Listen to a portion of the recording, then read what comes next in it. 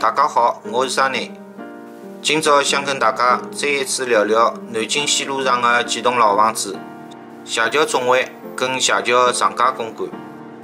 上海滩曾经有两个谢桥，一个立辣陆家浜路，靠近南市；另一个立辣南京西路青海路。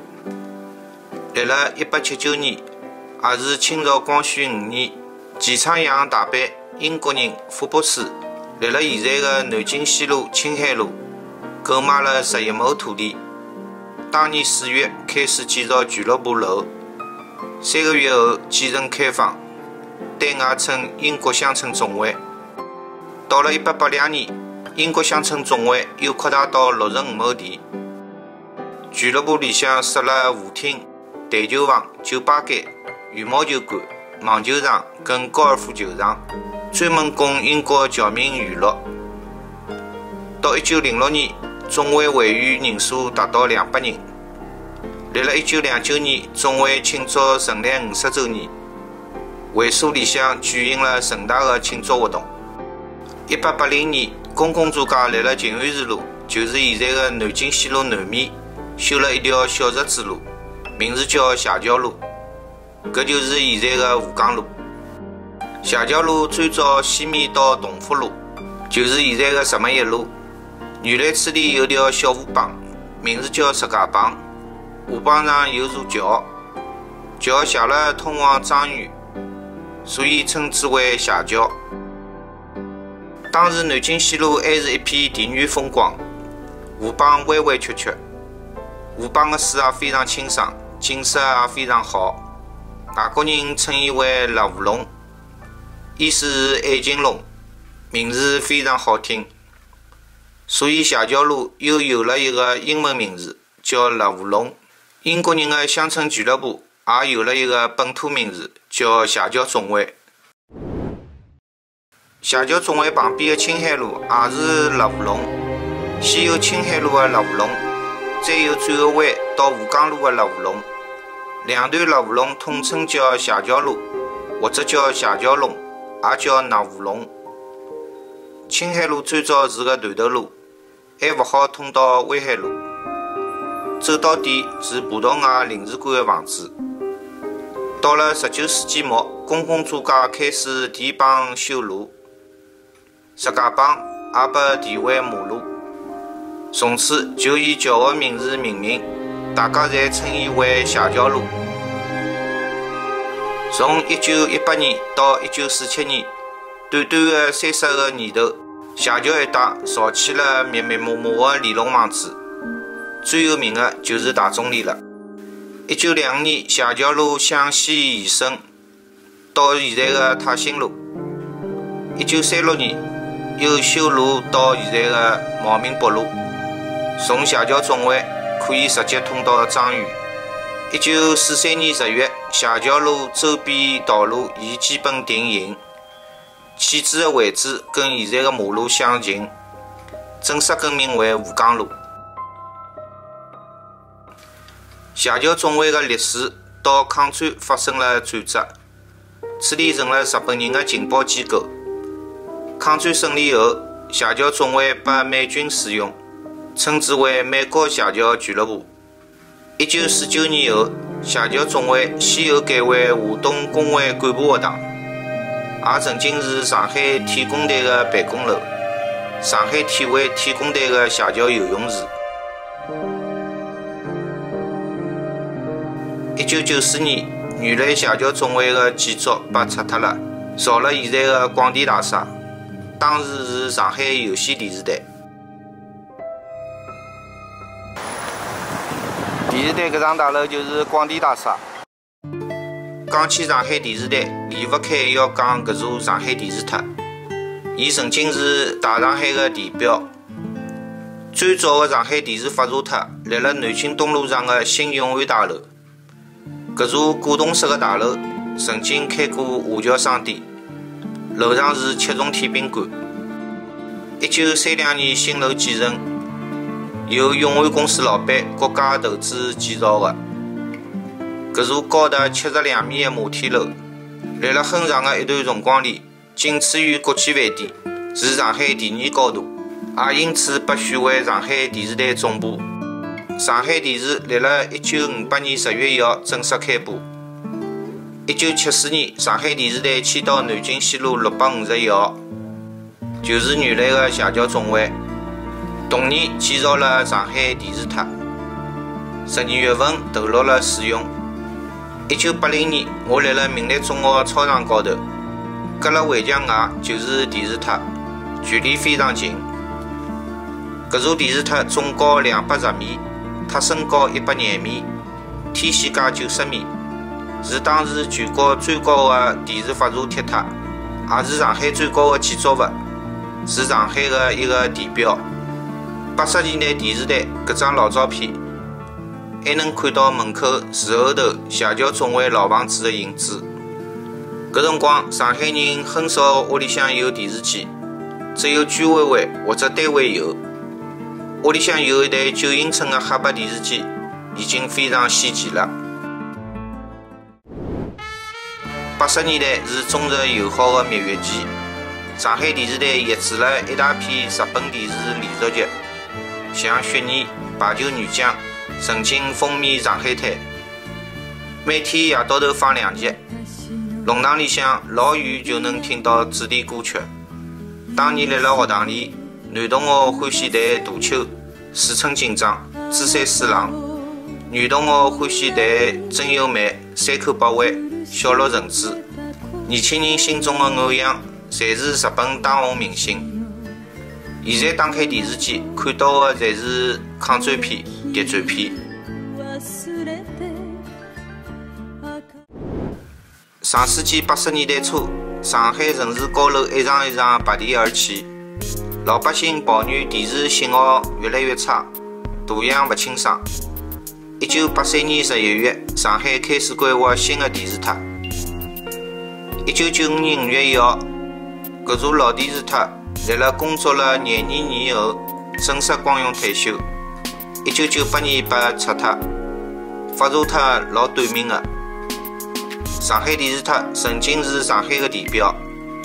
新的东方明珠广播电视塔成了伊的接班人，伊高四百六十八米，相当于五个半国际饭店高，成了上海新的地标。现在的上海电视台共有三个门，一个立了威海路，一个立了青海路，一个立了南京西路。一般来讲，威海路叫上市大楼，南京西路叫广电大厦。青海路是一个边门，广电大厦门口老早有个喷水池，后来拆掉变了停车场。广电大厦西侧有一条小马路，就是青海路，约两百米长，却因为樱花而出名。青海路老早也叫乐湖弄，路的东侧是旧式连龙房，西侧是新式连龙房。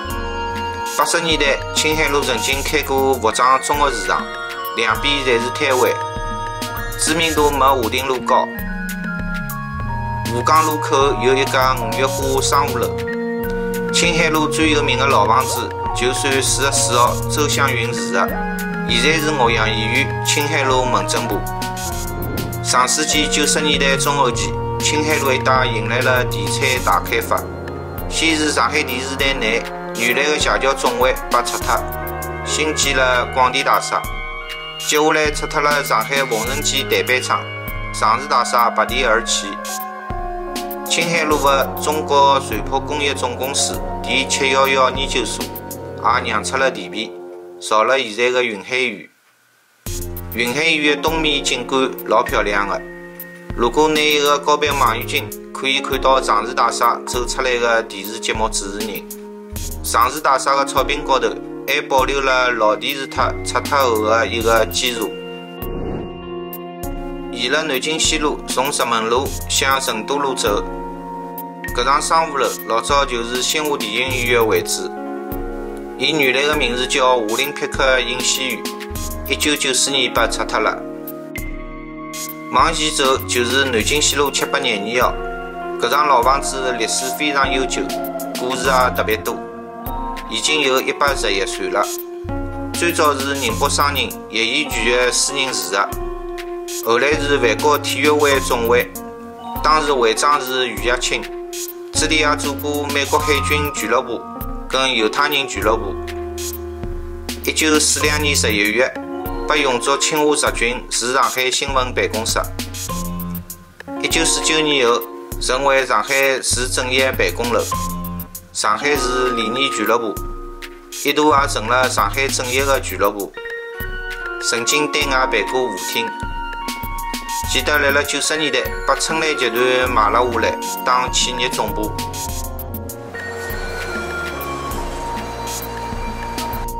南京西路七百零两号，原来是飞星公司大楼。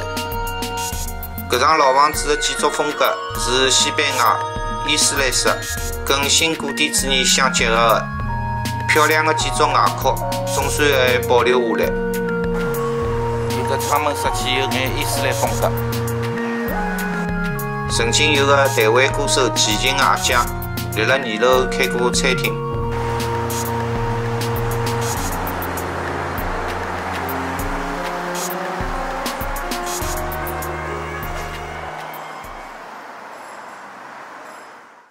隔壁这幢新楼开过集邮公司，可能是从南京东路集邮公司搬来的。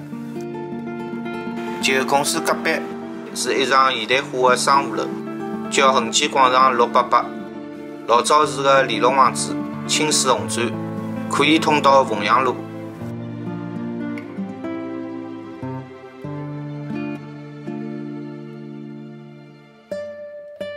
立辣恒基广场隔壁大楼下面就是静安新村。静安新村是一九三七年建造的新式联弄，小区立辣周围高楼大厦下头，像一个低洼的盆地。一九五零年代，静安区曾经叫过新城区。一九六零年才跟江宁区合并成静安区。